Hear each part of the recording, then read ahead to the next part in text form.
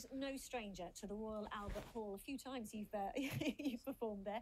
And next week, the iconic venue plays host to the Youth Proms, which will see thousands of young people perform live, many of them from in and around the capital. Well, Barry Caffrey is with some of the children uh, preparing to take part. So let's head over to Waterloo Station, and you're going to explain why you're there. Yes, there is. Two groups of young children have been really busy here this evening at Waterloo Station, performing for commuters. They started their performance around five o'clock.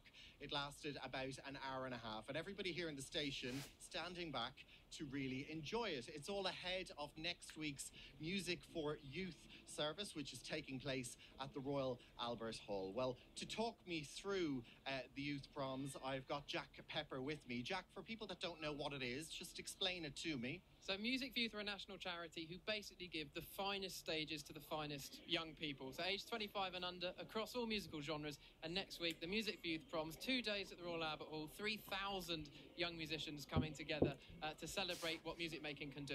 And we saw the two groups performing here at Waterloo Station. It must have been a fantastic experience for them. Were you proud? I was immensely, because this is all in the build up. You know, I've got 25 minutes of my own music being played next so to meet the musicians, to see in a space like Waterloo Station, again, what a venue to be able to perform in before the Albert Hall. Well, let's meet some of them now. We've got Eve. You are from the Newham Jazz Group. Talk to me about what it was like performing here at Waterloo. Um, it was a fantastic experience. I think being a young musician really gives you the freedom to be whoever you want to be, and I think Newham Music is a great example of that sort of diversity and that feeling of community. And are you excited for the youth proms next week? I'm incredibly excited. Yeah, I think it's going to be a night to remember. Well, good luck for it. I've got one of the music teachers here, Joanna Nicolau. Joanna, talk to me about how you have been involved in everything this evening.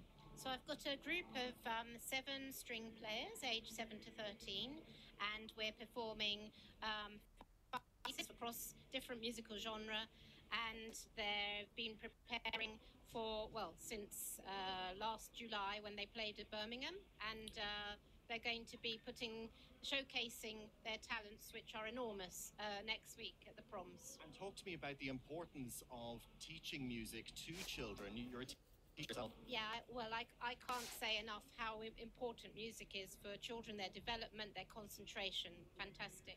Well, two of uh, your musicians are Darcy and Albert. Darcy, are you excited for next week? I'm incredibly excited. It'll be such a great night and it'll be really an incredible experience.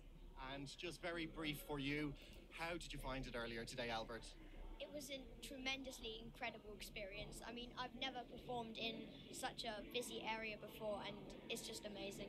Well, well done. Well, just to let people know, the Youth Proms takes place next week at the Royal Albert Hall on the 14th and 15th of November. Riz. Thanks very much, Barry, and good luck to all of them. Now, if you